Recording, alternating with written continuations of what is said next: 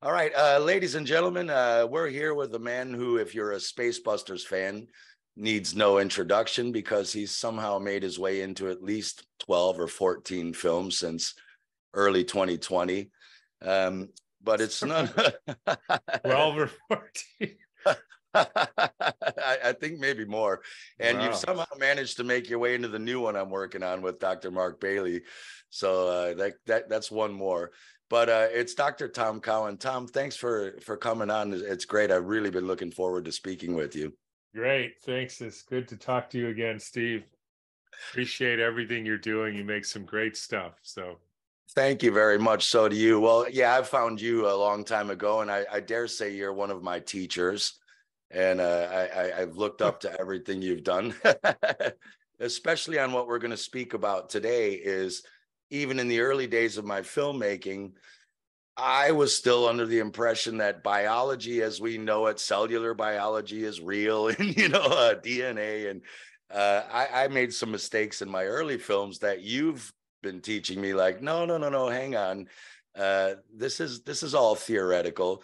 And what we're going to talk about today, which is exciting, is your new biology curriculum, which is great because the timing couldn't be better, in my opinion. All of us for years now have been exposing what isn't and what's false and what's not real and uh, certain political agendas. And I think people are now at the stage going, yeah, we get it. So what do we do about it? Right. And I think that's why I'm really excited about what you're doing. I this new biology curriculum, I dare say, is pretty radical. it's a pretty radical thing. But the first question is, I think people would have is like, Tom, why do we need another health curriculum? Right? We we know allopathic medicine is dodgy, but we have homeopathy, naturopathic, shamanic medicine, acupuncture, witch, witch doctors. Why are you doing this? Yeah, I mean that's a great question, uh, and, and sometimes you know it's funny when uh, you didn't say it exactly like this, but people say, "Oh yeah, I believe everything you say." You know, it's I'm with you a hundred percent, and I always think to myself, I don't even believe a hundred percent of what I say. I, you know, it's like I, I have sometimes conversations with my wife, and she says, "Did you just make that up?" I say, of course I just made it up, you know. But so let me just say in in for the next 45 minutes, uh, I, I will try to differentiate when I'm saying fact versus my own speculation, right? Because I think that's important. Some things are facts and some things are not. And I don't mind people speculating, but I, I would rather they say when they're speculating because, you know, that we all do that. So I agree. You're very logical too. What I like about you is you have intuition and just logic. You know, you just break, you don't take BS. You say, hang on, that doesn't make sense. And I, I get the feeling that's where this is coming from. All of your experience in medicine, you must have along the way said, hang on, something's yeah. wrong here. Well, I started even before I went to medical school. I wouldn't. I I I was sort of groomed to be a doctor, but I didn't like it. I didn't like how they thought, and so I, and, until I realized there was another way to do medicine, I wasn't going to go. When I did realize, so I I think the way to answer that is maybe by looking at at a few situations and contrasting like allopathic medicine and then sort of natural, holistic, or sometimes functional medicine, and then what we're calling new biology curriculum or medicine. So, what would you learn?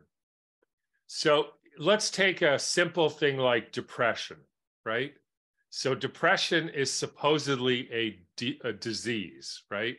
And they, I say that because it's in the DSM eight or whatever number they're on manual of that's the list of psychiatric diseases. So therefore, it must be a disease, right? Because it says depression. And so the question, and so what we're looking at is, and, and here's a here's a speculation or a hypothesis, and you can actually say whether you even agree with this or not, because because I do, but I would say I can't prove it. I would say that you can't build a healthy anything. And I'm talking about a person, a life, a community, a world based on untruths. Now, again, I can't prove that because you could say, well, you could have a relationship that is based on that people hate each other, but they don't say that to each other. And maybe that'll work, right? There's a lot of people have tried. I'm I can tell you that, uh, but but I don't think that's the best way to have a healthy relationship, right? So that's a that's a speculation which I can't prove. But so so the question then is how does they how does this doctor he or she come up with this diagnosis of depression? So here's how it works. So I, have actually seen studies that show that when you go to a normal doctor, you have approximately 37 seconds before they interrupt you. And I can tell you that I was an ER doctor for a while, and I don't think most people made it to 37 seconds.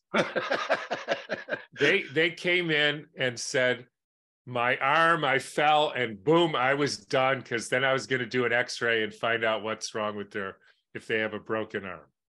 I didn't need to hear any BS about their dog tripped them or anything. I didn't care. I just it's your arm. So person comes in, doctor says, "What's up?" He says, "Oh, I'm really depressed." And in a way, that's all they need to hear. Right? person's depressed that's the diagnosis then then you do what you need to do because in medicine it's all about getting the diagnosis and matching the treatment Got, maybe they let him go on yeah you know my job isn't going well i'm not getting along with the misses and and i'm you know i'm a little financially stressed and yeah i'm just really depressed now here's the assumptions behind that encounter Number one, depression is a disease. It's not an experience of life. Like this guy has a crappy life, right? And so he doesn't feel good about the way things are going. And this, so that's number one. And the second is the cause of his depression disease is a serotonin deficiency. That's and so because of that, he hears the diagnosis from the patient, right? He doesn't know anything about this person. He says, You have a diagnosis of depression. It's caused by serotonin deficiency. Take Prozac or you know, one of the other ones, SSRIs, to make you have more serotonin. Come back in a month, tell me how you're doing. Right? So those are the assumptions and the and the, the course of action based on that thinking. Now, interestingly, now, here's typically what would happen. Guy comes back in a month. How you feeling? Oh, feel much better. Yeah, how's your life doing? Well, the wife left me. I got fired from my job. I went bankrupt and I gained 30 pounds because I'm sitting on the couch all day. So, but I don't give a shit about it. I don't give a shit. I'm healed. Thank you. Yeah. So so you you might say, so what makes you think you're I just don't feel so bad anymore. right. So he's he's fixed, right? Now, the problem with that encounter is A, there is no diagnosis of depression. That's an experience, and people have been trained to say that. And B, and here here is a fact. This is not speculation. There is no evidence that a chemical in your brain called serotonin has anything to do with the symptom of, of feeling bad. That has been disproven. Even, you know, our friend Kelly Brogan has published studies on that. There is no evidence that that's true. And the evidence that they will give you, well, well, I gave the person a chemical like Prozac and they got better, is supposedly proof that it's caused by serotonin. In other words, if somebody is something and you give them cocaine and they feel better, that means they had a cocaine deficiency and you fixed it, right? That's the proof. so that's obviously nonsense, right? So yes. my my conclusion of, of working, you know, I never really did that, but I was part of that system for, you know, decades is is the problem is the assumptions. They assume there's a disease, which there isn't. They assume a cause of an imaginary disease, which has not only never been proven, it's been disproven. And even that's not even getting into whether nerves have synapses, which they don't, and whether there's neurotransmitters, which there aren't. don't. Yeah, exactly. So that's even a part, those are even assumptions underlying the whole serotonin thing. Okay, so that's obvious. That that that one's let's just call it BS. Uh, so then, okay, so you don't you're a, a little bit more enlightened person. I'm going to go to my holistic functional doctor. So you go in, say, you know, I'm really depressed and tired, and he listens to you, and you do a questionnaire about 20 pages of all the symptoms and got low libido and etc. And so then he says, okay, we need to do some tests. So he does approximately, he or she, I keep saying he, but could be anybody, uh, about four or $5,000 worth of tests on urinary amino acids and neurotransmitters and a whole lot of other things. How much lithium is being excreted in your hair, except it wouldn't be much in you. Not much. so, uh, now, what are the assumptions? Well, first of all, there's a disease called depression, right? He's, they b- still believe that. Second of all, that all these chemicals will somehow tell you what's wrong with the person. I mean, if you just examine like one, urinary amino acids, so they're too high, you could say, well, they're too high, which is good because you're excreting the extra you could say that's bad because that means your body has too many of those amino acids. Uh, you can actually say just about anything you want because nobody has ever demonstrated that the amount of amino acids in your urine has anything to do with an experience of being sad. Which is right? probably your mother died and you're three months behind on your rent. Like, that's crazy. Yeah, the same with the Prozac it's as if it's not okay to be sad. Right. Is, your body is telling you something's wrong. You need to deal with an emotional trauma. Same with disease, which we'll get into. I never call it disease, I call it disease because your body has to have a way to show you that you're deficient or something's wrong right. so that you know to fix it, right? Like if you broke your leg, and you didn't it didn't hurt when you walked on it you would just hurt it more because right. you well you're right? you're you're jumping the gun and getting into new biology which is oh. the the point is there is still in in almost all of what's called alternative or holistic medicine the assumptions are almost identical there is a disease you are a chemistry set you have neurotransmitters we can figure out where they're off and fix them. And so they give you, you know, $500 worth of supplements to take every month. And, you know, the results are, let's just say, variable. Now, in what I'm saying is we want to base medicine on reality, not unproven or disproven assumptions. So the reality is there's something going wrong with your life just like you said steve like so you spend a certain amount of time saying so what happened to you? And and i actually learned in my practice that people will go back if you let them to what happened. Some it's just i was fine and then two weeks ago my dog died and now i feel sad and that's perfectly normal. They don't have a disease. They don't need anything except someone to say, "Yeah, I hear you," you know, I, I that's like sad. or it could be that you were abused as a child and you were starved and and you know there's a whole lot of stuff to unpack and and and whatever it is you stick with the real story of the patient which is an individual uh, explanation of what happened in their life. Now, some of it's like psychological slash emotional, and some of it's, yeah, I was fine. And then I decided to only eat raw beets. How come? Well, because that makes you feel better. So what happened? Oh man, I couldn't, I felt like shit after that. So the problem is you you made a choice to do something which I would say is wonky and it didn't work. And so you have a physical deficiency, like, right? So that's a physical problem. So it's not like saying, is it a mental problem or emotional or physical? It's it's whatever it is, and probably a mixture of all of those. Now, once you find the story, then you try to address, or might even say with the person, fix.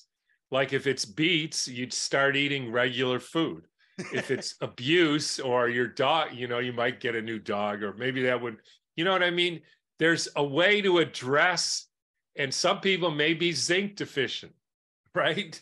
It, yeah. That could be the story. And that's the story. That's so none of that. And, and by the way, if you say somebody's zinc deficient, you better know how you figure that out because that's a tricky one because it's very complicated to do to even know whether minerals stay the same in your body as it's, it's what you put in and it's complicated and so with every situation you just go through that process you can do it with flu you know the Regular people think it's a virus, so they give you an antiviral or a vaccine. There's alternative people think it's a virus, so they give you vitamin C. Uh, we know it's there's no evidence for any of that stuff. Yeah. What happened to you? And then you deal with that. That's what I mean by new biology. Yeah, which is great. And I think so pretty one of the things I notice is that you know it's the circle. Uh, oh no, it's it's German new medicine. It's all emotional. You, it can't possibly yeah. be uh, poisoning from the chemicals in your shampoo and your yeah. dishwashing soap and all that. Or no, no, no, it's all poisoning. They, everyone's no, no, it's an energy imbalance. It's acupuncture. No, it's uh, cell salt deficiency. Yeah and I think kind of maybe what you're doing, am I wrong? Or are you you're marrying everything, saying it's you're all it's one or the it's not one or the other, it's combinations or some or maybe none. Is that what you mean? Uh, yeah, that's actually a great way to put it because you know, through my life, and I've been doing this for almost 40 years. Uh, and I wouldn't, uh, this is exaggeration. By the way, I I learned to pay really close attention to when people quote, lie or exaggerate. Because there's always something really juicy in that. The person who comes in and says, Oh, my foot is killing me. Well, your foot isn't killing you, right? Because if it was, I would say to cut your foot off. uh, but it probably hurts really bad sometimes, right? And then you have to you have to dissect when it hurts and what happens. It's because my wife stomps on my foot in the morning. That's when it hurts. And so then you know the problem. So, uh, anyways, so I'm going to exaggerate here. I, I have learned a, at least some about pretty much every medical system there is. You know, I can get by as a homeopath and an herbalist and anthroposophical doctor and German new medicine and, you know, herbs and food and uh, all the rest. And none of them fit right with me. It just like you say, it's only emotional. It's only so I would ask people, breast cancer, it's only trauma based with sex or something. So I'd have people with breast cancer and I'd go through their whole life, not a single trauma that they anybody could remember or anything. And I just said, screw it it's not right. Yeah. because meanwhile they were essentially you know like eating arsenic or something all the time and it wasn't emotion i mean everything's emotional right? But it, but there's a lot of chemical yeah it, i mean you know there's something to bruce lipton's work. I don't like the word epigenetics because genetics are bs too but yeah. there's as bruce lipton always said when you're in love you meet someone for the first time. He said are you sick You're not yeah. even. You're still eating arsenic and dish soap and all that, but you're walking around. So there's. I think they they all interact, and if you get in a deficient mental and physical state, you start to get a dis-ease, what your body is just telling you. Right? It's time. Yeah. I think your background is great because there will be a lot of people saying, "Who the hell is Tom Cowan think he is? He can come out with a new yeah, right medical." I think that too. Yeah, but uh, let's take you back to uh, I think you went to Michigan State, right, for yes. holistic medicine, but it wasn't really holistic. Can take us back and tell tell us how did this happen in your head? Because we all talk to. Uh, I'm not going to name names, but there are certain allopathic doctors out there who are still talking nonsense, indoctrinated nonsense. You can show them mountains of evidence about the boogeyman, invisible, this and that, and they can't get it. How did you not fall into the trap? What happened? I mean, I I don't know exactly, but my you know my my going theory on this is I grew up in a what I would call a Jewish ghetto. But you know, Jewish ghettos are a little bit more high, you know, like it was not a uh, I mean, I lived in a brick shack basically when I grew up. But but I my parents had a lot of friends and we were in a kind of a group.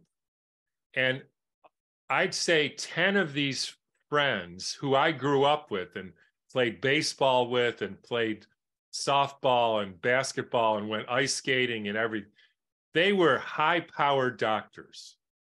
Like, as an example, one of them invented uh, the technique of doing laser surgery in gynecology, right? So that's a big, sh- and he was well-known gynecologist all over southern Michigan and probably further. Another was head of gynecology at, I uh, sorry, head of oncology at, you know, a big me- Detroit Metropolitan Hospital. Another one was a f- sort of well-known urologist, and on and on and on. And so I grew up with these people and and one of the things i realized is like golf was everything to them. And i was the best golfer in the group. In fact they lived to win the club championship of this jewish country club. And they wouldn't let me play until i was 15 right? Because that's you know that's like and i was 15 and i came in and i won easily like no problem. And I realized not I wouldn't say I was conscious then, but I I thought I the reason I won not only was I certain skilled, but I I could outthink them on the golf course. So I realized right then I would I again I don't know if I could have said it that these brilliant doctors uh, they they were frauds because the thing they wanted most not the gynecology was to win the golf the Jewish golf championship. yeah, and I and and and so I I went into this, you know, not having like awe of like normal doctors and way they think and all that. And and it's partly probably my nature, whatever that is. And so I just didn't buy it. And it, uh, you I just you can't say shit that's not logical and expect me to just believe it. Now the trick is you when you learn medicine, you don't even realize that it's illogical. You just you you know, you just hear it and it seems right, but you you don't know they never go into like how this was found right? And so you never actually get a chance to hear the logic. And so eventually, as I went through, you know, how do you know the heart pumps the blood? They never talked about that. They just assume it's like God said the heart pumps the blood. So we all know it and don't ask why, because we don't know who, who said that or who discovered it or what their evidence was. Nothing. They, you know, you ask your doctor, how do they know there's viruses? They don't have a clue. Yeah. Not a clue. Who who who came up with the method? Who decided the heart is a pump? Who first identified DNA and how did they do it? If you go and read Watson and Crick's, you know, Nature paper, you know, it's all about the spiraling of the double helix. And it says right in there, we assumed a, a angle of what do you mean you assumed? That's the whole point is to measure the angles so you can see what it is. And I, I mean, I never read, nobody ever said you guys should read this stuff and figure out where this all came from. So, I mean, I mean, I hear I hear new age people saying we're going into a phase where we're going into 12 dimensional strand DNA. I'm like, there's no proof there's even two of them. How are you going to get 12 if you don't even know you actually have two? I mean, it's pretty you dodgy, you know. I, I heard the other day someone who was giving a talk. I don't listen to many talks, but they they talked about uh, water, which I like to talk about, being able to what they called quantum bilocate right? Now, uh, so here's the thing quantum bilocate, anything with quantum supposedly is true, right? And bilocate means the thing, the thing is in two places at the same time. I don't know about you, Steve, but as far as I've seen, there's nothing I know of that's in two places. It just doesn't happen. Yeah. and, and so I asked her, how did they figure that out? And the answer, of course, no idea. So I went and looked at the study. I mean, it's bullshit. yeah. I mean, you're talking about uh, maybe magnetic field potential, you know, like the ether, if they're playing tug yeah. of war and you're in France and I'm in Denmark, we pull the rope and we move at the same time. But that's well, quantum physics is theoretical. Everything's a yeah. theory. It's models. I, I, keep saying, yeah, how, if it's true, why is it theory? It should be fact. Yeah. but one model. of the things that interested me, like you were talking about, um, so I used to work for the healthcare companies back in the 90s, uh, some very big ones. I'm not going to name them on camera because I'm going to slag them off. I don't want to get sued, but um, we brought in the Europeans won't understand this, but you you would know the PPO model came in. We had the HMOs and the PPOs. Basically, what we did is because we're trying to make massive profits. So we say, well, Tom, you're charging too much for this visit or this or that. Um, we're going to regulate what money you get for the visit, but because you're on our list, we're going to send you 20 more patients than normal, you know, so you'll get more patients. And I'm sure there's bean counter actuaries somewhere who worked it out. Like, how do we get it the deal sweet enough where he'll take it or she? But, you know, the problem was, as Andy Kaufman was saying, now some of these doctors see a patient for six minutes. And what I like about your story, if you could talk about it, is your approach is you need to talk to them for a lot more than that to get, as you say, to cut through the BS and find out what is really making you ill, right? How, how did you come up with that approach? And can you talk about that approach? Yeah. Um, I mean, it, it, there's some interesting things about that because I actually uh, don't agree that one of the problems with medicine is that doctors don't have time to see their patients. I it, I was in a group of about 70 doctors uh, a few years ago when I was still in California. And interestingly, the guy asked the group, 70 doctors, mostly middle aged, you know, how many of you have children? Basically, everybody raised their hand. How many of you would want your child to go into medicine? Three raised their hand out of 70. So that tells you a lot right there. And then he went on about how medicine, he said, the reason you guys hate medicine so much, which most of them did, was because they don't give you time to be with your patients and really get to know them and find out what the problem is, et cetera, and all that. Sort of like what what you were suggesting. Uh, I didn't say anything at the time because I didn't want to like get into it, but I don't. I actually don't agree with that. Now, here's why. Imagine you go to the doctor and you have a sore throat, right? The game the doctor plays is find the diagnosis, give match the medicine with the diagnosis or the procedure. That's it. That's that is the game they're playing. So person comes in, sore throat, doctor thinks it's either strep, which I can find with a culture, mono, which you have to do a blood test, or it's a virus, don't worry about it. That's it. And so he does his throat culture, does a mono spot, and and essentially does what the results tell him to do. If you said to that doctor, okay, you have uh, two days to talk to this person and find out about their life and everything, after five minutes, he's got nothing to say to the person. no information. He doesn't care whether you have braces or you eat only donuts or he doesn't know anything about that. He doesn't care if your wife is beating you. He none of that. It's either strep mono or get out of here. Right? That's all there is in life to him. So you could give him 6 weeks to be with that person and he doesn't know you know anything more than in the first 3 minutes. So it I don't think that solution would help. Right? Cuz he doesn't if you say I have inflammation in my joints, it's either rheumatoid arthritis, osteoarthritis, lupus, or you're making it up. And so he does the blood test, gives you the drug based on what he finds. He doesn't care if you're eating crap and and never exercise.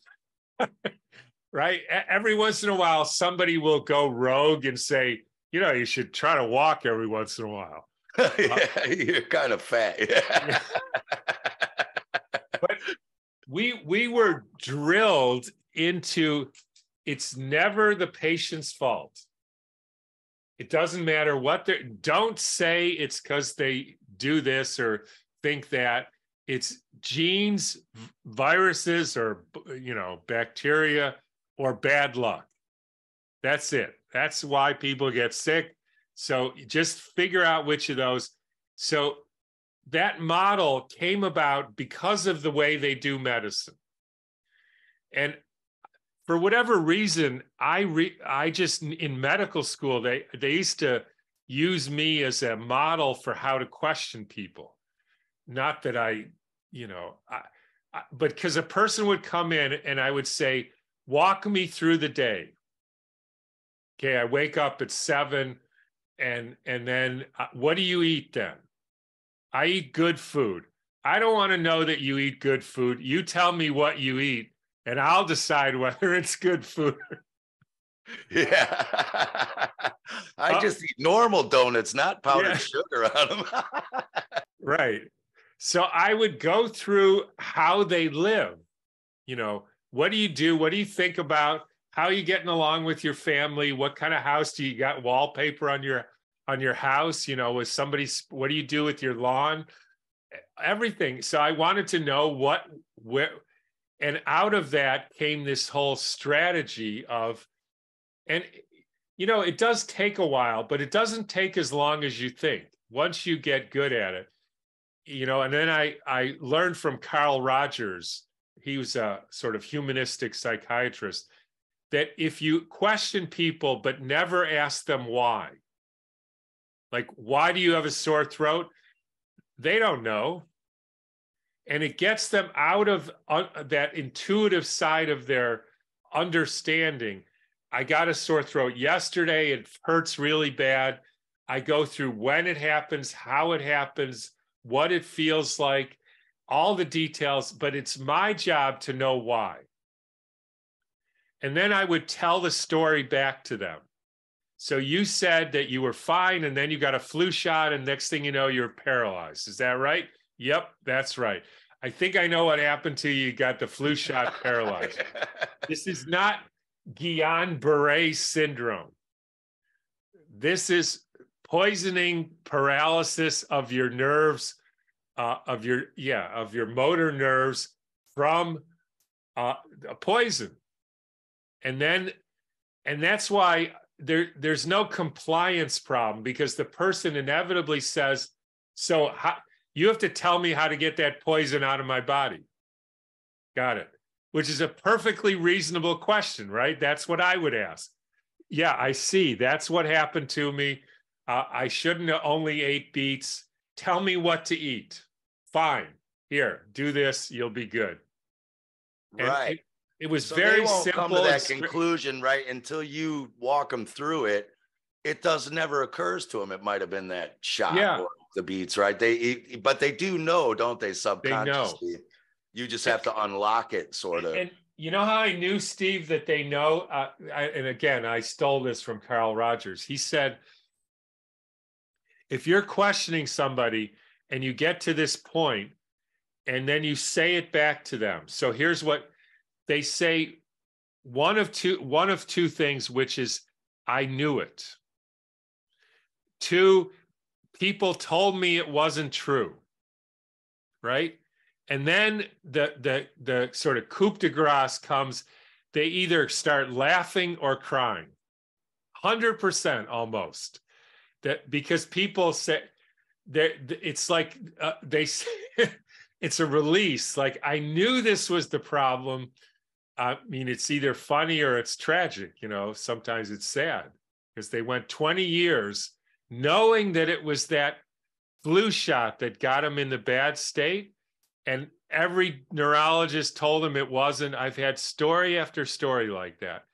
And so and, and i can't emphasize none of what i'm saying is theoretical right? I'm not getting any theories of neurotransmitters and how nerves work it's this is what happened to you in your life we know that certain poisons cause neurological symptoms that's what happened to you Exactly. I mean, I can tell too. You're you're the kind of person who doesn't mind rocking the boat, and I think you actually get off on it yeah a little bit.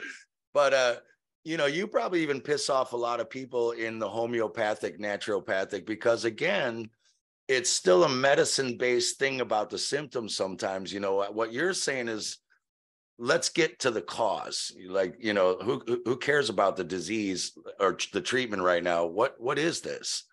And uh, that's the problem we don't get with most medical systems, even the allo or the homeopathic.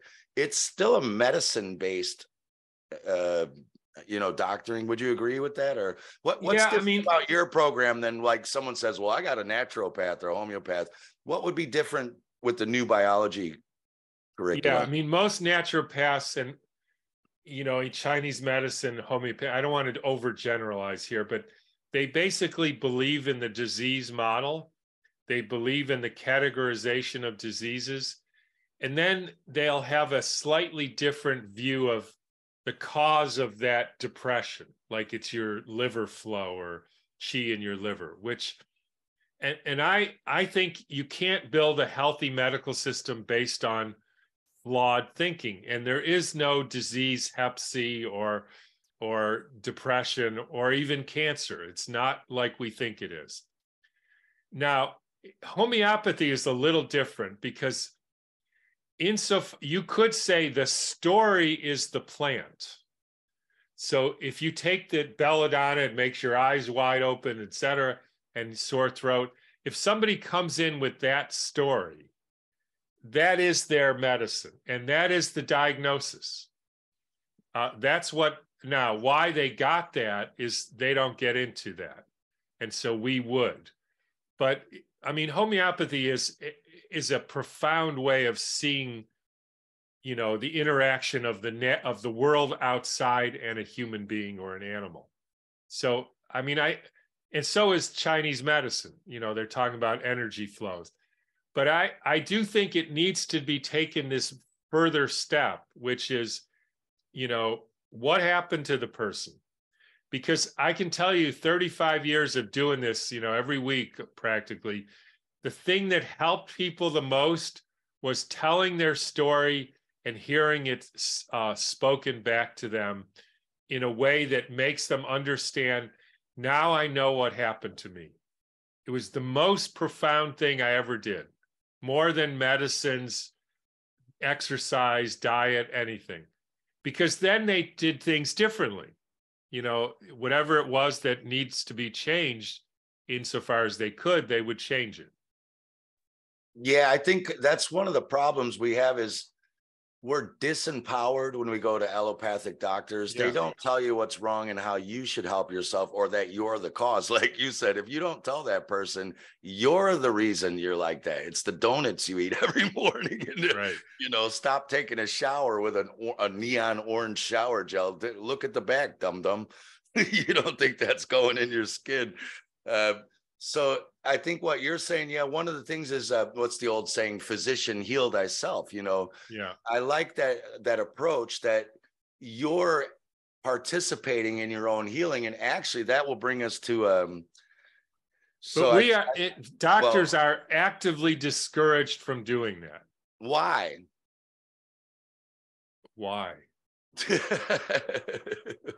well, a that the teachers of medicine don't know anything about it themselves so they would be exposed right? Nobody wants to be exposed. Like you if you say to, do you think that neon soap gel is bad for it? he doesn't even know what that means. So he would be exposed and not knowing his business. And second of all uh, what would happen is people would be empowered to change things for themselves and you know and therefore not be interested in taking stuff to suppress their symptoms. I mean the way i see it it should be extremely rare and i mean extremely rare for a person to be taking a pharmaceutical drug. I mean i would go months without prescribing a single one i mean even a year not one because nobody needed nobody needed and yet most people are on you know two ten six whatever every day of their life.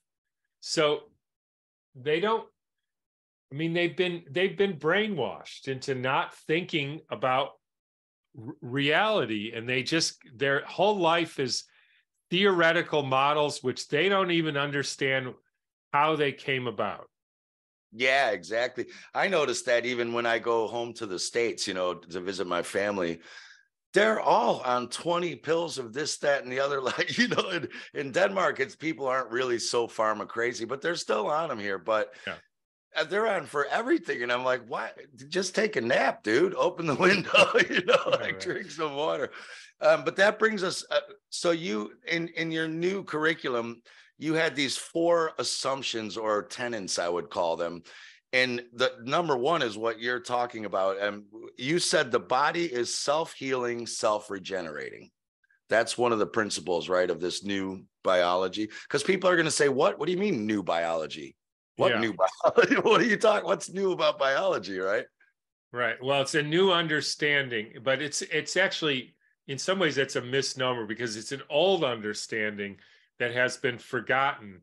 And we went into this cell DNA, human living beings are chemistry sets, and we're not. And that's the problem. So we went into this model based theoretical stuff, which uh, isn't working. And so, yes, how do I know that the body is self regenerating? You get a cut, it heals. Yeah. That's it. Exactly. Yeah. And T.C. Fry and Herbert Shelton, they were talking. Uh, what was her name? Flor- Florence Nightingale. Yeah. She just opened the windows and let some fresh air in. And there's like yeah. 30 guys breathing out and farting toxins all over each other. And she opens the window and they all get better. Yeah. No medicine, just fresh yeah. air. Right. So you're right. This has been known. I think the other thing too, I can remember growing up, we always had like grandma's remedies, you know, like oh, you, you uh, take some castor oil and you know you get the like uh, diuretics and stuff. It's like the grandma recipes have still been there all along, and they work. That's another reason you know this works. Yeah, is because grandma's recipe works, and your drugs don't. You're you're on those drugs for life, and they yeah. want you that way. You're not on castor oil for life. Yeah. well, um, the, tell, tell, yeah, go ahead. Yeah. The allopathic drugs, quote, work by suppressing your body's healing mechanisms. You know, it's the you get a splinter in your finger, you take it, eh, this the pus comes to get it out. They give an antibiotic because they think the pus is the disease. and it's just and that's bronchitis and pneumonia they think the cough is the disease it's not it's the healing mechanism. So new in new biology it's it's really getting away from that understanding of what the human being is and then the treatments should all insofar as possible work with what your body is trying to do. Your body is trying to cough you make it easier to cough. That's it. Yeah, I think cancer is the number one offender of that because that has the biggest victim mentality. I I caught cancer. You're like, yeah. there's not cancer flying around, and you were the unlucky one who caught it. Yeah, you you have something in your body that your needs to be protected and wrapped up, and you have tumors and um and and that's one of the things I learned from a guy called a biochemist called George Washington Carey, Dr. Carey he's and this is one of your tenants uh, he said your symptom is not a disease it's a communication strategy in a way right. of your body telling you hey something's in balance here something's wrong and if you don't feel this pain you won't know it and you'll just carry on yeah. doing what you're doing is do you agree with that 100% symptoms are communication strategies and it's just like if you go through your life every time your friends and your partner and your wife and husband or whatever wants to say something to you and you say no i don't want to hear about it uh, you're not going to have a good life and yeah. that's what we're doing with our body we're trying we're saying we don't want to hear about what you have to say and so if you're lucky the body will keep saying it if you're not lucky, the body will say, "This guy, this person doesn't listen. I'm, I'm, I'm, I'm out of here," and yeah. then you're in real trouble. Especially, that's the dangers of stuff like ivermectin, for example. Yeah, you feel better, but that's because you know it stopped you from detoxing the toxins. Mm-hmm. Well, the the danger is, yeah, you might be able to go another year. Now you've got ivermectin in you, which is highly toxic. Go on to PubChem, it says it right there. Don't eat this stuff. But the problem is the next time you're going to take ivermectin again because you're going to go, it worked last time. Yeah. You know, and you do that three times in a row, and then you're you're looking at some, you know, you're in trouble down the yeah. road. I think that's one of the problems. Um, so for this curriculum, and, and, and the interesting yeah. point about that is these are philosophical questions, right? This is about the conception of reality that you have. And they have a different conception. They think if it stops the symptoms, that's good. Doesn't matter. It's just good. And that's a very short sighted, inaccurate view of, of, of life. Yeah, because the symptom is actually a result of healing, yeah. but we keep calling it, as you said, you call if you call the healing the disease, yeah. then you take a medicine to what you think is attacking disease. You're actually attacking the healing, right?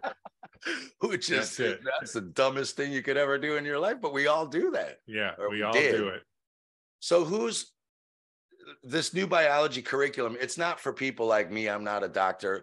Who is this for? And then how does this work? Like so will people be able to find your network and then you know say they don't want to go to an allopathic quack or something? What, how does this all work what you're setting up? I mean the idea was you know before i die i should probably uh, systematically teach this method i mean it sounds a little arrogant to me but anyways so i was convinced that i should do it. And so essentially teaching people who want to be you know some sort of practitioner and maybe even people who just want to learn about health and healing. Uh, and so there's a systematic approach you know how do you talk to people? What what do you think when somebody comes in with a sore throat? Like what's going on is it a virus right you know is it strep you know or is it the braces which change the metallic you know field in your mouth, you know, and then you got degraded tonsils and then the bacteria eat them. Then, so you go through how to think about all these different disease sort of modules, you know, and we we have group sessions and talk about it and talk to people individual individually if they need to get it.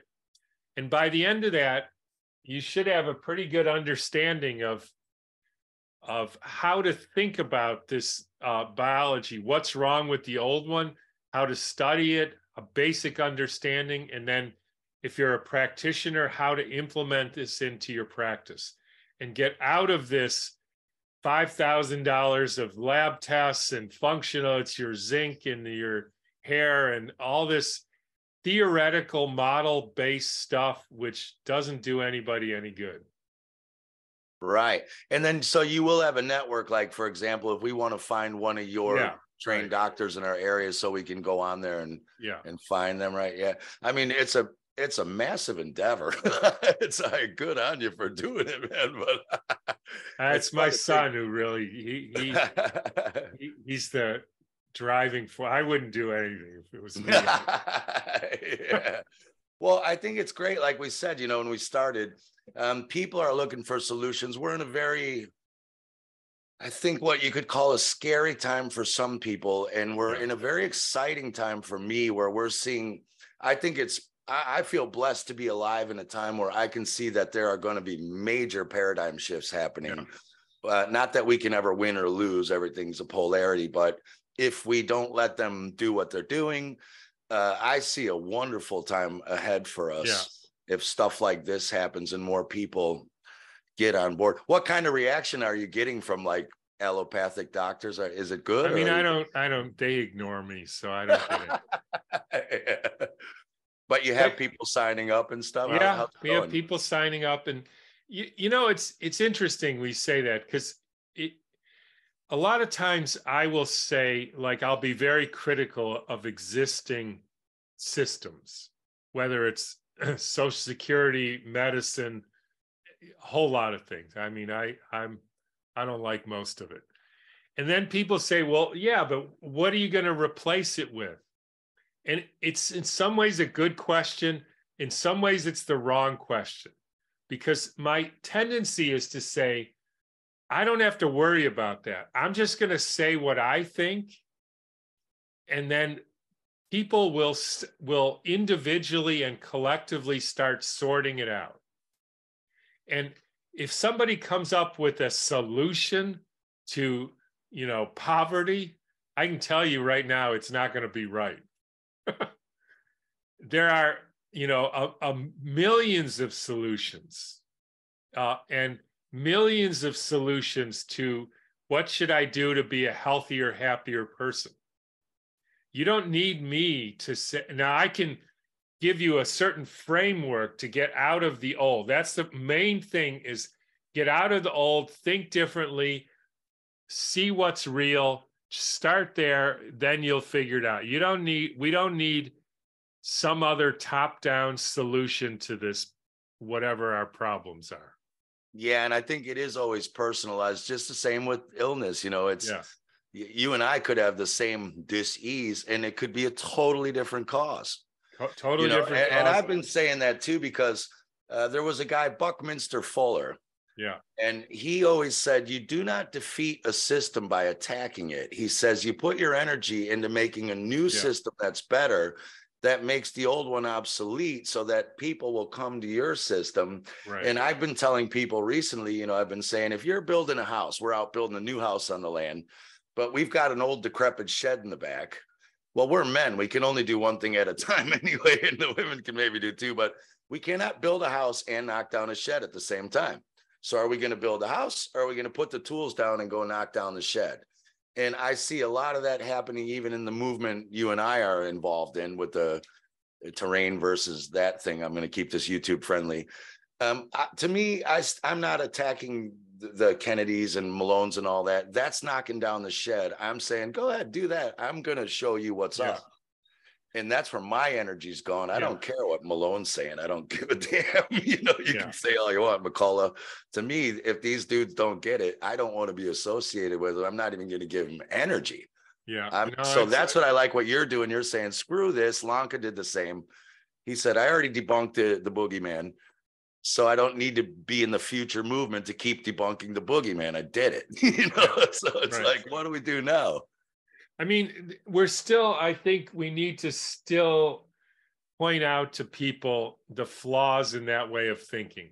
I mean, but but I I totally get it, and which is why we we you can't also sell this and by being angry and upset all the time and unhappy and unhealthy and pissed off, you know, and world sucks and everybody sucks and and here come and join me. Why? Let's all be miserable together. Yeah. Like like I don't like I'm not joining you. You you know, but that's anyways, yeah. Yeah, lead by example. Are you doing anything else, Tom? Are you writing any new books or uh, anything else we can look forward to? Uh no books right now. Uh, not not particularly. I'm just right. Yeah. I mean, I'm really getting. I, you know, I'm getting sick of talking about the boogeyman, but I agree with you. It's still yeah. we we need to pursue it, but a little bit. Um, you know, I'm I'm getting in, interested in like like what you're talking about the heart it's not a pump you know what we call immune uh, immune systems or cancer metabolic function there's it's all bs you know all you can BS. even you can control your breathing and change your heart rate so that's proof right there your heart's not pumping or else how is your mind and breath like chain lines yeah if the heart's just doing it then how yeah. come you can just relax and change your breathing and change it like come on well, you know, I, I, I recently got into this thinking about the the cancer because that comes up a lot in the clinic and in the curriculum. Uh, it's an interesting uh, pr- thought process because they say everybody knows cancer is when the cell there's a mutant cell right because it got a mutation and the cell is all messed up it's got funky number of chromosomes and it's misshapen et cetera and it grows way too fast and overtakes the rest of the system, right? That's basically cancer. So I thought about this. Imagine something that's all broken, like a car. Somebody comes in, yeah, the, you know, my car's all broken. The engine's in three pieces, and the steering wheel's in the trunk, and the tires are flat, and somebody cut the brake cables. And so you say, yeah, well, how's it running? Oh, runs three times faster than a normal car. You'd say, wait a minute. so, how is it that this broken, dysfunctional, mutated, abnormal chromosome cell is able to grow three times faster than a healthy cell? I, I don't think that's right. yeah and and that's the thing. Nobody ever questioned that, and you know that's just the fact.